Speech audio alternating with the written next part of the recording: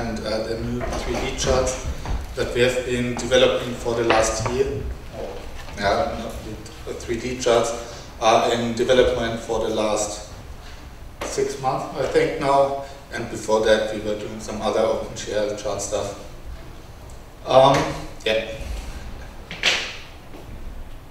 So 3D charts, they are OpenGL based. Um, they, they are done in a 3D world. So uh, instead of our drawing layer based charts, we are not layouting everything, uh, more or less transforming it into screen coordinates.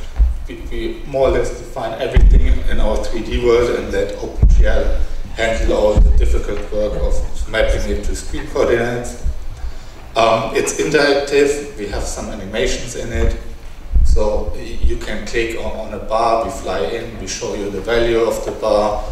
Um, you, you, can turn the chart around automatically, and that's all uh, animated with, I think, 100 or 200 frames, and it just takes a second or two. So it's quite fast. Um, yeah, we do all the design in world and model coordinates and uh, then just give OpenGL a transfer transformation matrix and it transforms it to our screen coordinates.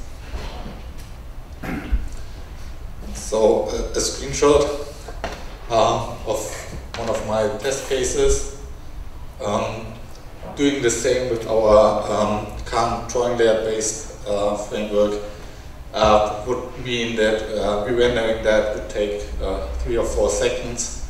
We get the same chart here with uh, up to 40 or 50 frames per second. Um, yeah, the colors are not perfect and uh, currently the, the, bar size uh, is still different in the demo. So let's see if the demo works. I, I broke the OpenGL 3.0 support on Monday when I merged in Mexico.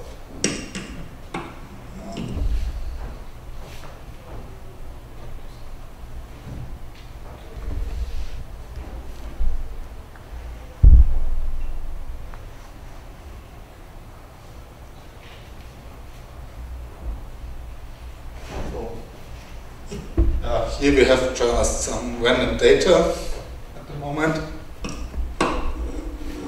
Let's try to create shot. So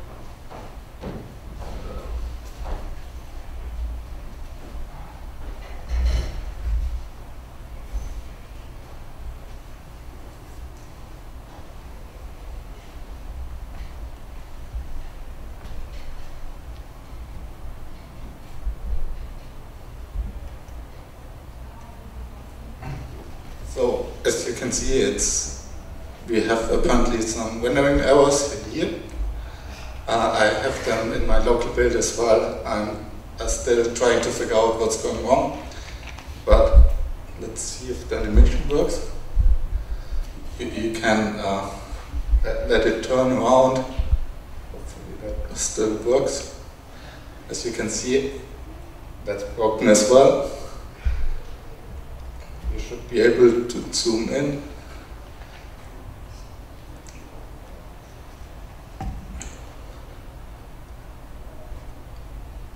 and zoom out and and the re-rendering is really fast compared to what, what what be done uh, in our uh, drawing layer based stuff.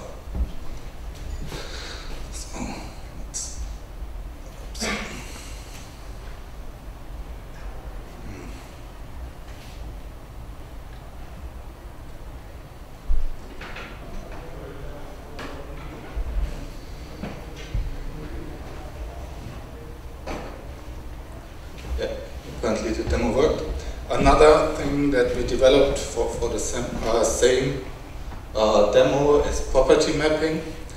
Uh, the idea behind it is that we want to have something like conditional formatting for charts. Uh, conditional formatting is known from Calc, that they can uh, change the formatting of a cell based on, on some condition. Uh, now for a chart it's a bit more complex because the, the range changes uh, and it, it's uh, the data is is more flexible. So um, we need to uh, use a different design and it's much more difficult to define which formatting can be changed. So um, the solution that we have right now is that we can change the fill and border color um, of a chart. Um, we do all the calculation for the color in a, in a sheet. So you more or less give the, the chart uh, the, the color for, you, for your current uh, data point and um, it, it, takes it from, from the spreadsheet and applies it to the um, data point. It's implemented for some chart types, so bar charts, um, bubble charts, column charts, but not for all um, because uh, um, charts that only use a line have not been uh, supported yet. I will most likely extend it in the future and I have no idea yet how to um, implement it for different formatting. So th there's a direct mapping uh, color to value and, and back, but for other formattings it's more complicated. So I have another demo, and I know that this one works.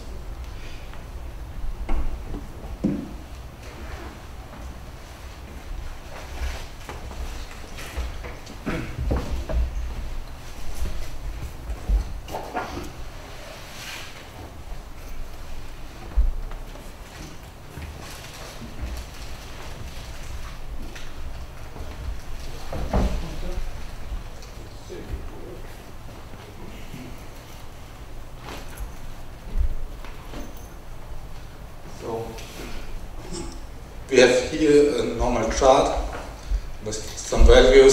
Sadly, you can't see uh, the values for column 1.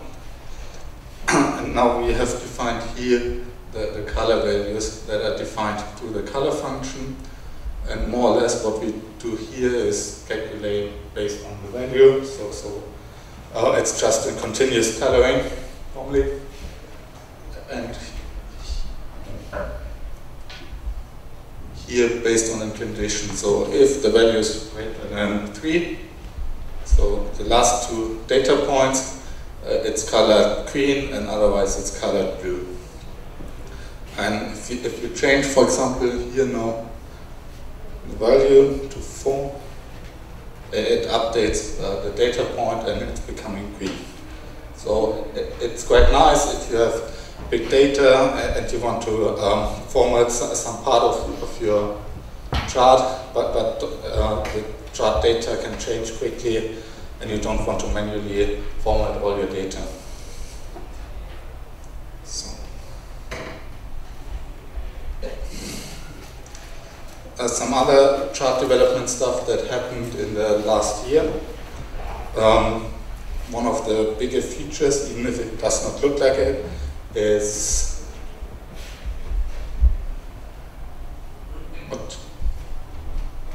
No, is uh, borders around data, uh, data labels. So these borders here, they look quite innocent, but yeah, believe me, it takes several days or even weeks, weeks to implement it. Yeah, yeah. If you look at it, you think, yeah, half half a day maybe if he's lazy, but no. I know that Core is doing a lot of work there. Then quite a lot of OXML improvements. So CloudOn and Synerzip did quite some uh, amazing work there. Many OXML, especially DocX, PPTX improvements, uh, they added quite a lot of tests. So I make it mandatory for uh, chart bug fixes that they come with a test. Otherwise I won't review them. Um, we should do that for more modules. Uh, many round tripping issues have been fixed there, so you can import your docx or pptx, um, show it in uh, LibreOffice, we lose some formatting, but after export it's added again. And from Koha is a number of formats with internal, internal data tables, um, which uh, we improved the support quite a bit and a lot of OXML import issues have been fixed there. So for the near uh, future, um, Um, I want to maybe work a bit more on the 3D chart framework, add a few more uh, 3D charts based on the OpenGL framework, um, move existing 3D charts maybe to it. They are really, really slow. Uh, we have a lot of bug reports complaining that with more than 30 or 40 points, it's really unusable. Um, move some of the um, design work that we did there into drawing layer so that other parts of the code can reuse it. And we have some window issues, so OpenGL only renders to a window, so we need a window for 3D OpenGL charts. And we might get rid of that at some point if we can get the whole LibreOffice uh, OpenGL enabled. So there, there are some OXML issues that we have, still have. Uh, we, we, need more import and export fixes. Pivot charts are still not supported. There's a big missing feature. Um, there's a huge problem with OXML according to the spec and, and used by Microsoft Office 2010 and 2013 and the dialect used by Microsoft Office 2007 they use different default values. So if, if you fix uh, a bug uh, report by changing the default value, because newer Microsoft versions um, just assume that the default value is different, you suddenly break Microsoft Office 2007 import. Um, yeah, we have done that already a few times, so I think uh, we, we need to look at it again and fix it properly by introducing two different uh, import formats. Um, and we have some of the features that are round-tripped uh, based on the CloudOn Synerzip work, and we might want to implement them in the core so that we have them also user visible. Then, uh, well, my, my, big enemy in chart is the internal data table. It's more or less a store for numbers uh, that's mainly used for writer and impress. It can be used in Calc as well, but yeah, there you have normally uh, Calc as a chart backend. And my plan is to drop the internal data table and always embed a chart, uh, a Calc document as data source, so uh, that we get automatically support for number formats, for more complex stuff, more complex features, uh, without having to re-implement everything in the data table. At the moment, for example, number format support uh, is, well, it exists, but it's totally broken. Uh, you can't use number formats at the axis. They're totally broken, and fixing that is just, or is nearly impossible. Um, Microsoft dropped uh, the internal data table for 2007 for good reasons and some of the newer features can't be round-tripped or, or, can be round-tripped but not re-implemented in LibreOffice without dropping uh, it. And it would improve the user experience for, for many uh, uh, bigger charts because handling uh, big data sets in the internal data table is just uh, impossible. Then time-based charting. Uh, we have an experimental implementation. It's quite rough it's the, the, idea is nice, but the implementation needs some love uh, and quite some fixing, so you can get it to crash quite easily. It is not that user friendly at the moment, but yeah, I did not have that much time. And there are some timer issues that still run after the chart is destroyed, and therefore it resulted in memory corruption and similar stuff. But yeah, otherwise that, that would be all that I've planned for chart and would yeah, cover the next few years. Okay, thanks. Any questions? Yes? I have a question regarding uh, using uh, OpenGL in general. Is it robust enough? You, know, my experience with OpenGL and, and accelerated graphics is that it introduces problems.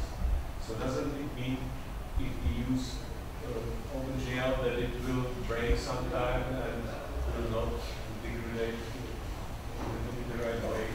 So um, I, I talked about it yesterday, I think. Um, basically, OpenGL support is decent nowadays. The problem is a bit old um, Linux systems. For example, our baseline is only OpenGL 1.4. Um, yeah, the, the question is there how much we, we care about systems that are 10 years old or even older and that still want to run uh, the newest version. Um, it's an open question. I don't know the solution to it, but something like OpenGL 2.1 should be fairly um, should be on most uh, systems by now and uh, stable enough for for general usage. So on Windows and Mac, we, we don't have any problems there. It's just uh, our Linux baseline that's our biggest problem. And if there is no accelerated graphics at all, so is it okay? Again? So if the system doesn't have any accelerated graphics or, or, or no So, so on, on Mac you always have um, OpenGL support, even hardware support. Uh, on Windows you normally have as well, so, so newer systems don't come without um, OpenGL. Um, or, well, Microsoft does not ship it, but, but uh, you, you have a GPU in your system and all of them support it, if even uh, the, the, newest version. Um, on, on Linux it's, yeah, mm, Mesa does support OpenGL software rendering. I haven't tried it yet, and um, the, the older Linux distributions still ship uh, old Mesa versions that uh, only support OpenGL 1.4 but otherwise it's, it's fine. So you can render it in software on Linux, but yeah, most of the users have decent OpenGL support by now. We, we're well behind the, uh, the desktop shell leading edge there. Like, yeah. It's entirely GL now. Wayland is the new compositor, which is all GL. Yeah, that's the other point. So uh, GNOME is moving to OpenGL. KDE, KDE will follow, I think, soon. Um, Wayland more or less uh, requires OpenGL to some degree. Um, so, so even on Linux, you, you, you're not going to, to live with the newest stuff without OpenGL anymore.